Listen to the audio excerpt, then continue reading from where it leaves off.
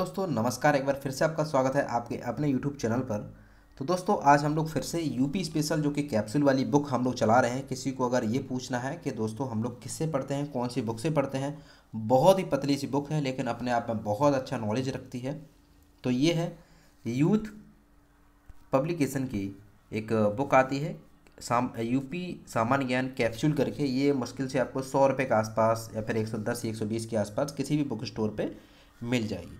तो आप लोग जो है यहाँ से ले सकते हैं। यूपी स्पेशल ख़त्म कर सकते हैं केवल केवल दस दिन में। फ़िलहाल तो आज हम लोग बहुत इंपॉर्टेंट टॉपिक पढ़ने वाले हैं। आज दोस्तों जो भी पॉइंट मैं पढ़ाऊँगा, बहुत छोटी सी वीडियो होगी, लेकिन जो है मैं बहुत अच्छे तरीके से समझाते हुए लेके चलूँगा और यहाँ से गारंटेड एक क्वेश्चन बनता है। ऐसे कह सकते हैं, जब भी पेपर हल्का सा भी जो है कठिन आएगा, हल्का सा कठिन आएगा तो यहाँ से क्वेश्चन बनता है। एक बार अगर कोई वीडियो एक बार देख के इसको डबल स्पीड पे करके दोबारा देख लेता है गारंटी से मैं ये कहता हूँ, वो हंड्रेड परसेंट इससे करके आएगा। तो चलिए शुरू करते हैं। ठीक है? देखिए, सबसे पहले तो दोस्तों यहाँ पे आप देख सकते हो, उत्तर प्रदेश का प्राकृतिक वनस्पतियाँ एवं वन वन एवं वन जीव सबसे पहले दोस्तों इसकी जो पीडीएफ है, जो भी मैंने अपने पॉइंट आउट की है, ये देख सकते हैं आपको, मैंने सारे सारे पॉइंट आउट कर रखे हैं। तो दोस्तों आपकी इसकी पीडीएफ जो है आपको कहाँ मिल जाएगी, मेरे इसी वीडियो के डिस्क्रिप्शन में चेक कर सकते हैं। वहाँ पर एक ग्रुप है अपना व्हाट्सएप ग्रुप उसको ज्वाइन कर लीजिएगा और वहाँ पे आपको ये पीडीएफ वगैरह सारी सारी प्रोवाइड हो जाएगी ओके टेंशन फ्री रहिएगा। तो चलिए फ़िलहाल तो हम लोग बात करते हैं। आज। देखिए, उत्तर प्रदेश में वन रिपोर्ट 2021 आई थी, इसके बाद कोई भी अभी लेटेस्ट वन रिपोर्ट नहीं आई है। तो पहले तो बात करते हैं, कुल बनावट क्षेत्र कितना है? चौदह हज़ार आठ सौ सत्रह पॉइंट आठ नौ वर्ग किलोमीटर में। इसके साथ साथ बात देखिए, वो इम्पोर्टेंट नहीं था, ये क्षेत्रफल इम्पोर्टेंट नहीं, ये परसेंटेज इम्पोर्टेंट है। है ना? यही पूछा जाता है कि बताइए यूपी के कुल क्षेत्रफल का कितने परसेंट पे बन है? लगभग सिक्स पॉइंट वन फाइव पे ओके चलिए, ये हो गया। अब हम लोग बात करते हैं नीचे, देखिए। बहुत इंपॉर्टेंट इंपॉर्टेंट चीज़ें हैं। बस ये कुछ नहीं पढ़ना है आपको, ये फालतू चीज़ें। इतना पढ़ना है कि जो I F I S F R दो हज़ार इक्कीस के अनुसार उत्तर प्रदेश में शीर्ष वन वाले ज़िले।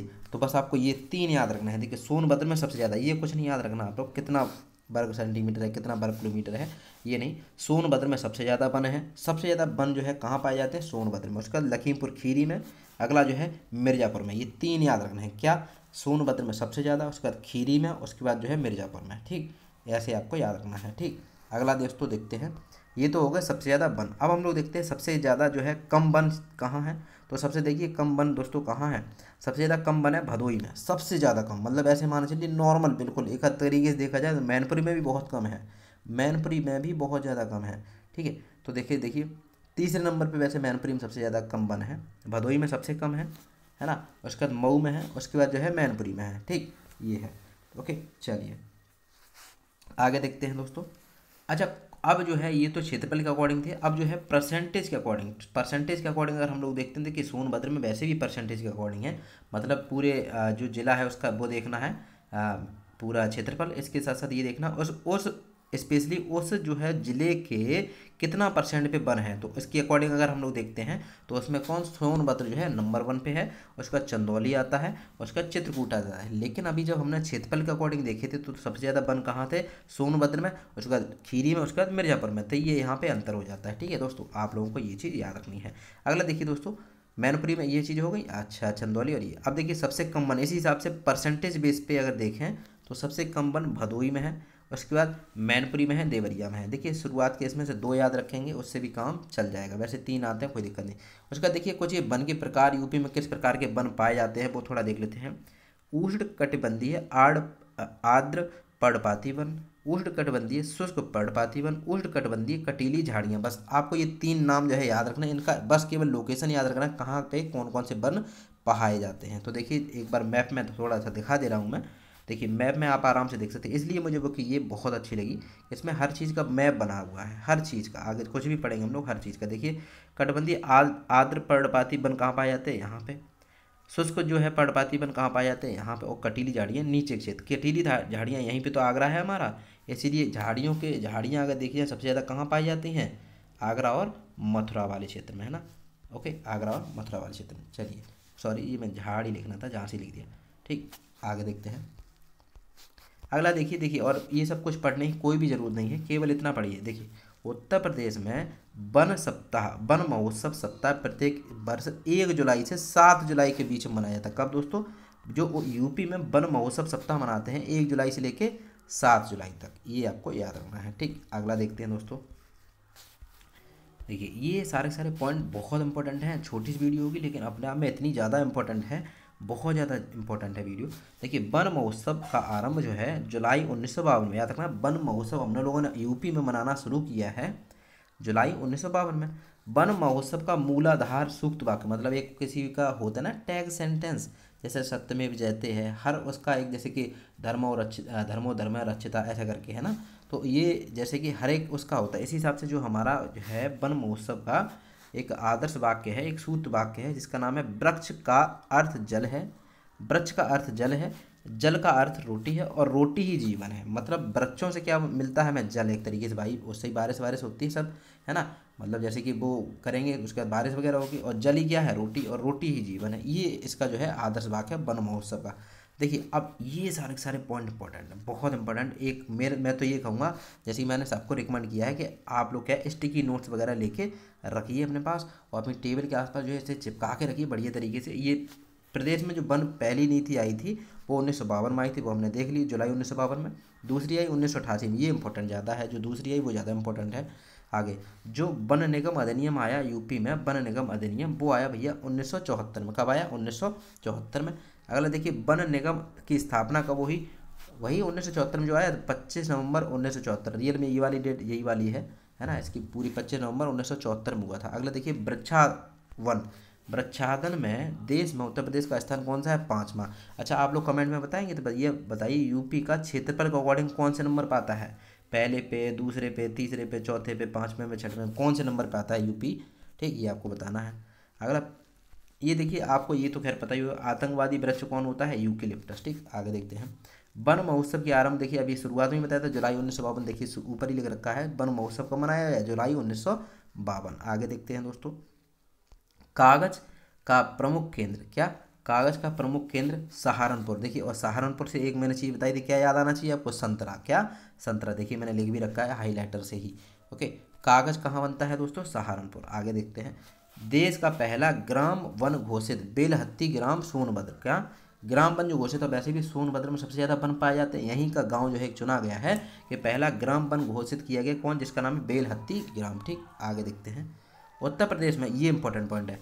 उत्तर प्रदेश में eco tourism policy 2024 nodal agency one निगम है, जो अंतर्राष्ट्रीय स्तर पर विश्व में एक राजकीय संस्था के रूप में सबसे अधिक वन क्षेत्र को प्रमाणित प्रमाणित करने वाली वाला संगठन बन गया है। ये इंपॉर्टेंट पॉइंट था, ठीक? 2014 याद रखना। तो उत्तर प्रदेश में इको टूरिज़्म पॉलिसी कब आई दोस्तों? 2014 अच्छा 2014 में एक काम और हुआ है।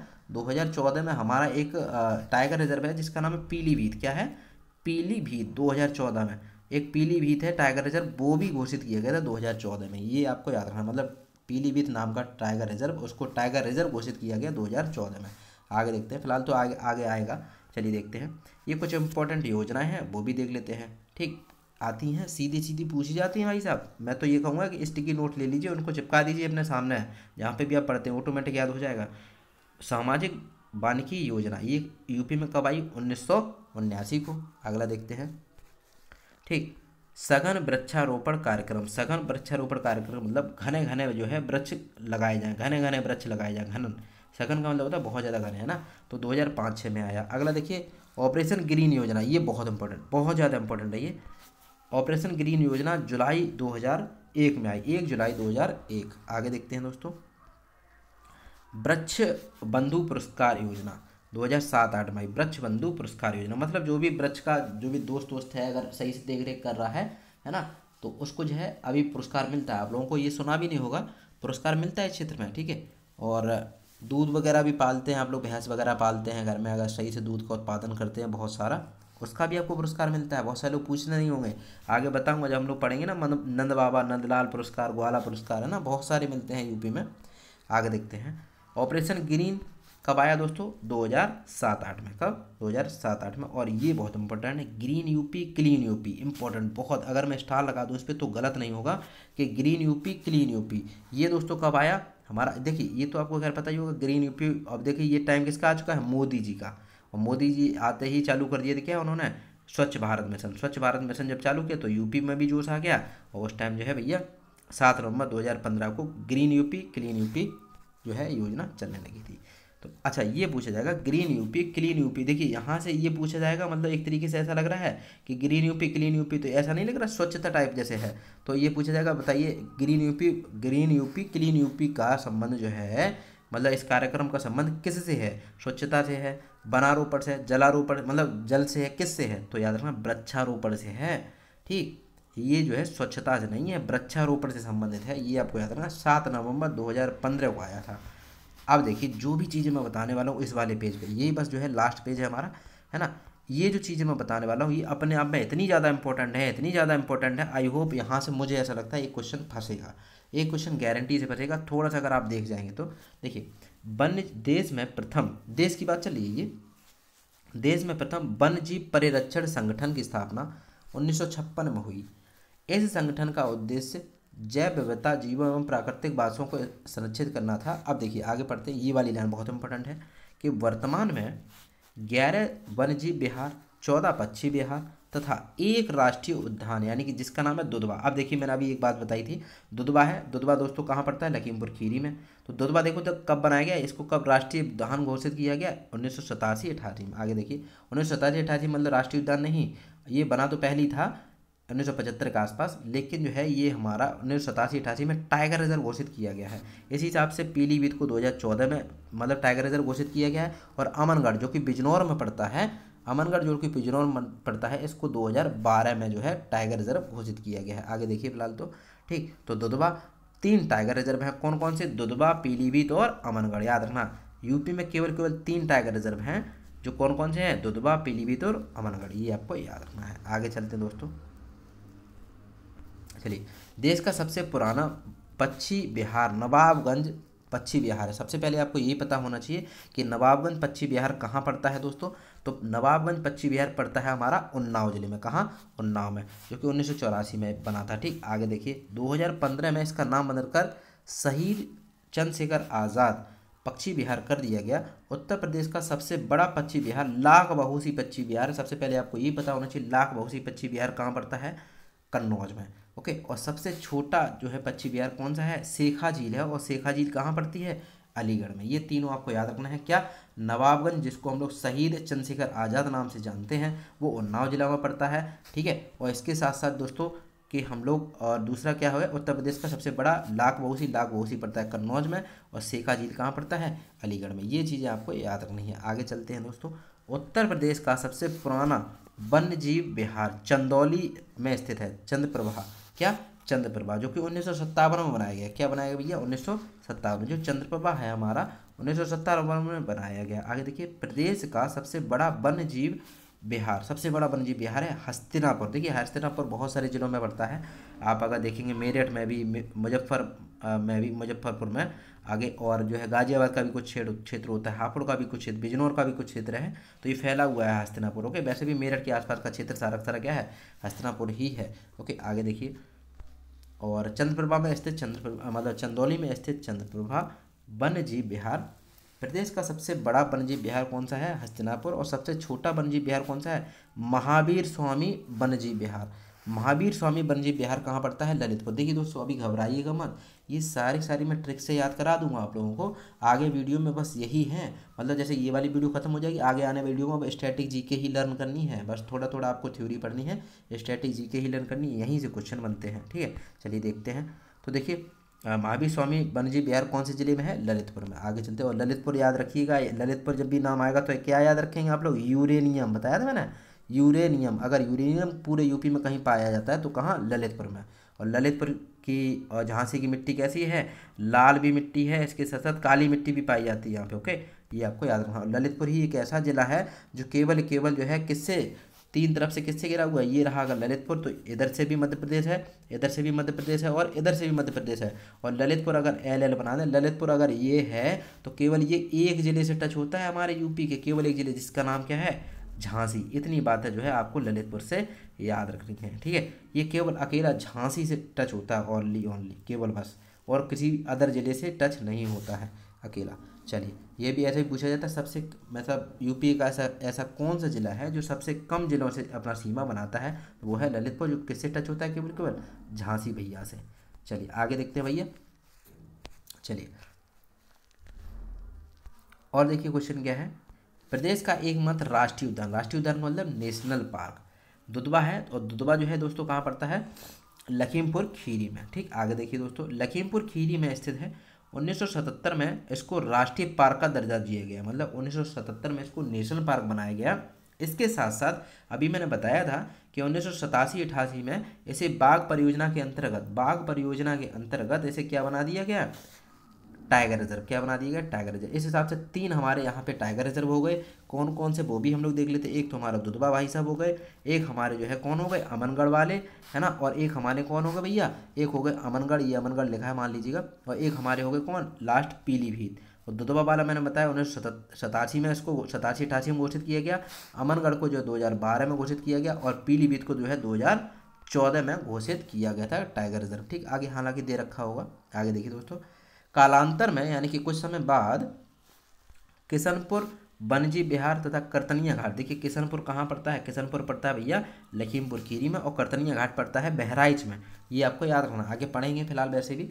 आ, को दोनों इन दोनों को मिलाकर दुधवा टाइगर रिज़र्व का नाम रख दिया गया।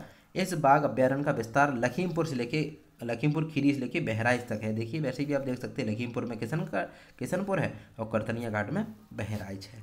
अगला देखिए पीलीभीत में वन्यजीव बिहार पीलीभीत वन्यजीव बिहार जो है प्रदेश का, प्रदेश द्वारा 9 जून 2014 को, मैंने अभी बताया था पीलीभीत वाला कब चुना गया था मतलब टाइगर रिज़र्व 2014 को, बाघ अभ्यारण्य का दर्जा दे दिया गया। वर्तमान में तीन जो है, हमारे क्या हैं, टाइगर रिज़र्व हैं कौन कौन से, यानी कि बाघ अभ्यारण्य हैं, कौन से, दुधबाज, इसको उन्नीस सौ सतासी अठासी, उन्नीस सौ सतासी अठासी में बनाया, टाइगर रिज़र्व, पीलीभीत 2014 में बनाया और अमनगढ़ जो है हमारा 2012 में। अमनगढ़ कहाँ पड़ता है दोस्तों, बिजनौर में। कहाँ पड़ता है भैया? बिजनौर ये आपको याद रखना है ठीक? अमनगढ़ कहाँ पड़ता है? बिजनौर वो तो वैसे भी जो है चलिए आगे देखते हैं और दुदुबा कहाँ पड़ता है? लखीमपुर खीरी आगे राष्ट्रीय जल जीव राष्ट्रीय जल जीव आप जानते हैं गंगा डॉल्फिन उत्तर प्रदेश के प्रयागराज से मिर्जापुर के बीच यानी कि ये रहा प्रयागराज ये रहा यहाँ पे मिर्जापुर। इन दोनों इन दोनों के बीच में जो है हमारा आ, एक गंगा डॉल्फिन पाई जाती है। यहाँ की पाई जाने वाली मछली को गंगा डॉल्फिन कहते हैं ठीक? यानी गंगा डॉल्फिन यहाँ पाई जाती है। इसके साथ साथ गंगा नदी में ये सबसे अधिक मात्रा में पाई जाती हैं। स्थानीय नाम में इस मछली को, स्थानीय नाम में इस मछली को सूस कहते हैं। क्या कहते हैं भैया? सूस या फिर सुइस। ठीक, ये इंपॉर्टेंट है। वहाँ के स्थानीय लोग जो भी हैं, इस क्षेत्र के रहने वाले, इसको सूस बोलते हैं। है ना? उत्तर प्रदेश में कुल कितनी? बारह सौ पचहत्तर। ये इंपॉर्टेंट है भाई यूपी में इनकी काउंटिंग होती है। ठीक है?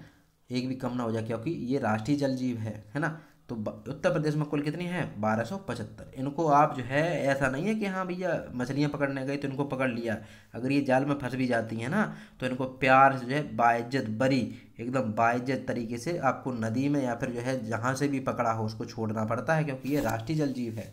ओके दोस्तों, चलिए, अगला देखते हैं। हाथी तराई। देखिए, हाथी जो है, वो कौन से क्षेत्र में पाया जाता है? तराई क्षेत्र में। शिवालिक गिरिपद बनों और चिंकारा बिंद के जंगलों में तथा गेंडा जो है तराई क्षेत्र में पाए जाते हैं। ये आपको याद रखना है। देखिए, आगे देखिए, ये इंपॉर्टेंट पॉइंट बहुत इंपॉर्टेंट देखिए डबल स्टार लगा हुआ है। अमनगढ़ बाघ आरक्षित क्षेत्र को केंद्रीय वन एवं पर्यावरण मंत्रालय की वेबसाइट पर कार्बेट बाघ आरक्षित क्षेत्र के बफर जोन में दर्शाया गया है। ये इंपॉर्टेंट क्या है कि जो हमारे केंद्रीय वन पर्यावरण मंत्रालय की जो वेबसाइट है, उस पर आपको कार्बेट वन पे कार्बेट बाग आरक्षित क्षेत्र के रूप में दिखाया गया। कौन सा हमारा? अमनगढ़। अच्छा अमनगढ़ कोई बताएगा कब बना था भैया? बताइए, कब बना था ये हमारा? 2012 में। अमनगढ़ कब बना है? 2012 में, ठीक? और पीलीभीत हमारा 2014 में, और हमारा दुधवा उन्नीस सौ सतासी अठासी में। ये आपको याद रखना है। क्या बने ये? Tiger reserve. ये आपको याद रखना है। चलिए, तीन टाइगर रिज़र्व हैं, ठीक? अगले देखिए। कि अगला क्या है दोस्तों? लखनऊ के निकट निकट कोकरेल वन कोकरेल वन में लुप्त प्रजातियों हेतु तो प्रजनन स्थापित किया जा रहा है। मतलब एक कोकरेल वन है, हमारे लखनऊ के आसपास पड़ता है, वहाँ पे हो क्या रहा है? एक प्रजनन वन स्थापित किया जा रहा है किन के लिए? लुप्त प्रजातियों के लिए, ठीक? लखनऊ में स्थित है। ये सीधे सीधे पूछा जाए कोकरेल वन कौन से ज़िले में स्थित है? तो भैया, लखनऊ में। देखिए, मथुरा के वृंदावन में राष्ट्रीय पक्षी मोर के संरक्षण हेतु मयूर संरक्षण केंद्र स्थापित किया गया। ये आपने खैर जो करंट अफेयर्स में भी पढ़ा होगा तो मयूर संरक्षण केंद्र कहाँ है? मथुरा में। ये आप ऐसे याद रखना, मोर मोर तो भैया किसके हैं? यानी कि हमारे कन्हैया जी के, है ना? तो मोर जो है कन्हैया जी के मुकुट पे हैं। इसके साथ साथ उनकी बांसुरी में भी वो लगा हुआ है। तो वो कहाँ के थे? मथुरा के जो थे। तो मयूर संरक्षण केंद्र कहाँ बनेगा? मथुरा में। ये इंपॉर्टेंट बात इतनी कुछ चीज़ें थी। तो दोस्तों, इसका पीडीएफ जो है आपको हमारे इसी वीडियो के डिस्क्रिप्शन में आप उसको देखिएगा। डिस्क्रिप्शन में यानी कि जो टाइटल लिखे आ रहा है, उस पर वहाँ से बढ़िया तरीके से क्लिक करके देखिएगा। आपको ग्रुप मिल जाएगा, उस पर जाके ज्वाइन कर सकते हैं। इसकी पीडीएफ आपको वहीं पे मिल जाएगी। ठीक है, चलिए दोस्तों, मिलते हैं फिर नेक्स्ट टॉपिक के साथ। तब तक के लिए प्रणाम, नमस्कार, जय हिंद। इस वीडियो को एक से दो बार देख लेंगे। आई होप एक भी क्वेश्चन यहाँ से गलत नहीं हो। गारंटी से फंसेगा, ये मैं गारंटी से कहता हूँ। ठीक है thank you so much all the best